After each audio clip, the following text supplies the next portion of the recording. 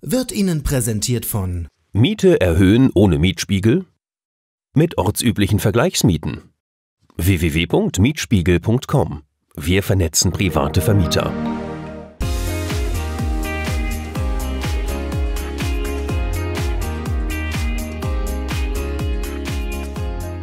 Sauna im Fass hört sich super an. Was steckt dahinter?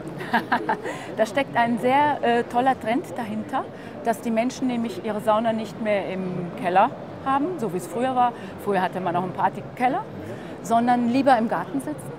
Ähm, zum einen, weil das ein wunderschönes Objekt ist, was man auch anschauen kann.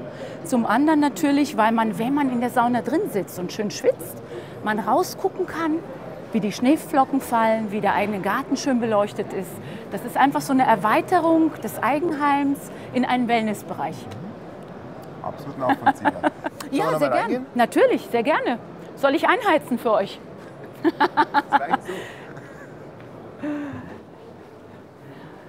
Wir legen Wert auf einen wunderschönen Vorraum, wo man sich ausruhen kann. Und hier drin haben wir eben den Saunaraum mit einem Ofen der freien Wahl. Ein Holzofen geht auch, wird auch oft nachgefragt jetzt natürlich.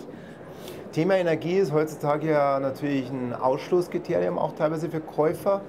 Was habt ihr dagegen zu setzen? Also viele Menschen interessieren sich jetzt natürlich auch für den Holzofen. Hat den Vorteil, dass man natürlich auch noch den Holzgeruch da drin hat.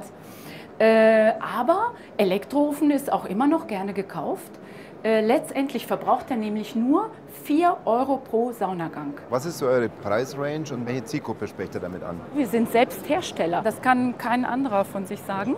Äh, aus diesem Grunde verkaufen wir direkt ab Werk eigentlich an den Endverbraucher. Wir haben keinen dazwischen. Deswegen sind wir in der Lage, natürlich besonders günstige Preise anzubieten. Bei der Sauna liegt die Range zwischen 3.000 und 10.000 Euro. Wurde Ihnen präsentiert von Miete erhöhen ohne Mietspiegel? Mit ortsüblichen Vergleichsmieten. www.mietspiegel.com.